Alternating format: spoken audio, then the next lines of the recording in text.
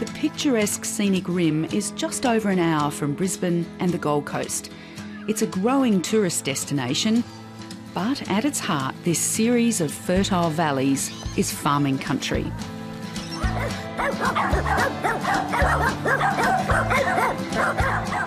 The Tommerup family has farmed here since 1874 in a pocket called the Lost World.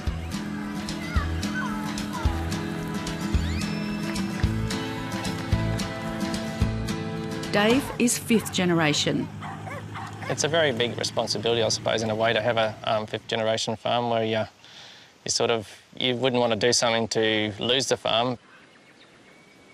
When dairy deregulation hit 18 years ago, it looked like he'd be the last. We started at about 65 cents a litre, averaging that, and then we went down to around 30 overnight. Could you make money? Could you be profitable getting 30 cents a litre for your milk? No, no way. Not a chance. Dave's parents also really struggled with what was happening because there were two families at that time and, and we couldn't make wages for two families. There's no way. The couple took on extra jobs at the local school. Kay drove a bus, Dave did the grounds. But it was clear, even with the off farm income, the 80 hectare farm could only support one family. So Dave's parents left, and Kay and Dave took over full time. We're just going to put everything that we have into this idea, and if it works, that's great. If it doesn't, we've given it our best shot. The first change the couple made was to cut their small herd from 60 to a tiny 48, making it one of the smallest commercial dairy herds in Queensland. If you say you're milking 25 cows in a room full of dairy farmers, it's just like you're a complete joke. Um, and before we were ashamed of it, I suppose. The dairy was barely a break even proposition. They didn't have the resources to get bigger, so decided to diversify. Kay thought of milk. With only the best going to its customer, Norco, they were throwing some out. It was terrible watching that milk be thrown away. Just we were just throwing it out out the back on the paddock. Um, and then I started harping on about getting pigs and not wasting the milk, and, and that was the next part of the diversification was into the pigs. And how hard was it, Dave? Because you don't like pigs, do you? Uh, no, no. um, I remember pigs when I was little. My parents had them, and I just, no, I just didn't really like them at all. But um, somehow I got talked into that. They run two heritage breeds the cranky Tamworths and the more amenable large blacks. So we wanted to find a more docile breed, and the large blacks are supposed to be that, and they are just the most magnificent pigs. Love them, absolutely love them. Do you love them, Dave? I'm getting to love them now, yes. they are very friendly pigs, yeah, they're great.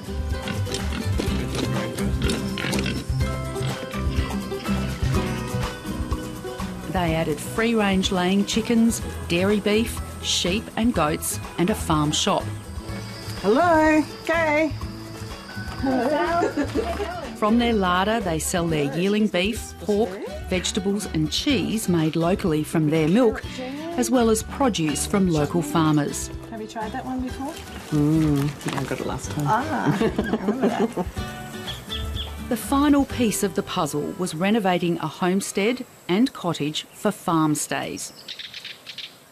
While individually each operation generates small returns, tourism made the farm profitable. And we look at it as a whole business now. So each element has to be there, otherwise, it's just not what it can be.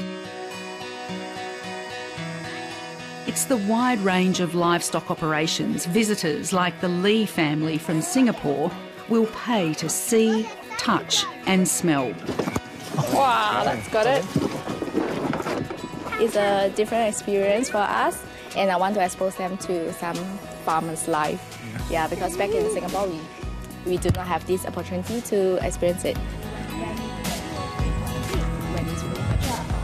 Would you recommend it to your friends back in Singapore? Uh, yeah, definitely for especially for families with kids. yeah, they, they look at things differently. And she already says that what it's hard to be a farmer. On day one, Giselle and Aidan were tentative with the animals and bothered by the flies. Oh my god, the chicken! Ah! The next day, though, they were having fun and revelling in the space. The rooster, yeah, it's very funny. They were running around and they were like a bit scared, but it's funny. Rooster! Rooster! Cow! and they like the guinea And We're trying to give them backstage pass to our farm and show them what they wouldn't see if they're just looking at, you know, going in and, and patting a few animals at a petting zoo or something like that. This, this is a real farm. People leave here and they say, we've had the best time, thank you for sharing your farm with us. And that's, that's a pretty good reward. The kids don't want to go home, Yeah. and it's like, see you, Farmer Dave. Yeah, So yeah. yeah, it's and Farmer Kate as well. So it's it is nice to see that. Yeah. With so many mini enterprises, the workload here is unrelenting. I think it's a joint thing that you do. I think it's about working as a team. Yeah, I'd be um, I'd be pretty lost without Kay. Ratio, isn't it? without her, I wouldn't get half the things that I need to get done, and um, we wouldn't have survived. A role model for women in agriculture, she's also an ambassador for small family farms, which she says are making a comeback as consumers seek closer connections with those who grow their food. She says they'll never forget, though, the early days when they were told countless times they had only one option to get big or get out. As long as you're passionate about something, you can succeed. It doesn't matter if you're different, just as long as you're giving it your best shot. We've got a business that's successful. We're doing it the way that we want to, and it's okay. So we're proud of it now.